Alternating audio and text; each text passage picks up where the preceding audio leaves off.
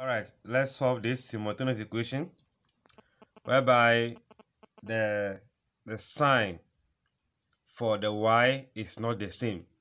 The one in the previous video, we saw that the sign for y is the same, that is plus plus, that of the x is the same. So now we are going to find the value of x. So we have x equal the coefficient here multiply this constant.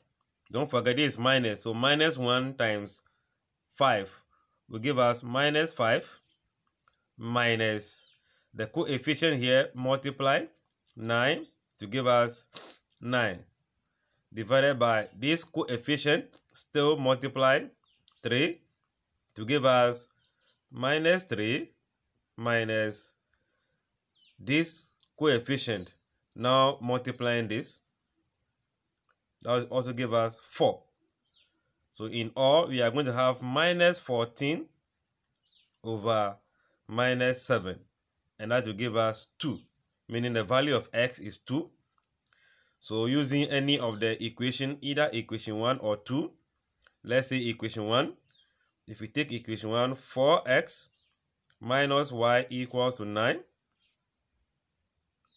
we can send the y to the other side, that is adding y to both sides. That become 4x equals to 9 plus y. So now we subtract y from both sides to get 4x minus 9 equals to y. But our x equals to 2.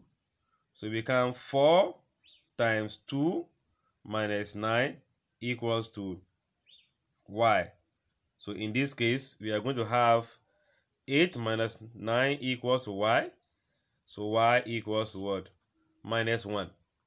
So if you put back minus 1 and 2 into the equations, if you can get 9 and 5, then it means your values for x and y are the same. Alright, thank you. But someone will say, what of if I want to find y first. You can do same. If you are finding y first, it means y is going to be equals to I'm holding this so this 4 multiply 5 to give us 20 minus so 4 times 5 then 3 times 9 I believe that is 27 over since we take this times this. So now it will be this multiplying this. That is 4 times 1. That will still give us 4 minus this is going to be 3 times 1. That is minus 1. And that will give us minus 3. I believe minus minus will cancel to give us plus. So we are going to have negative 7 over 7. That will give you negative 1.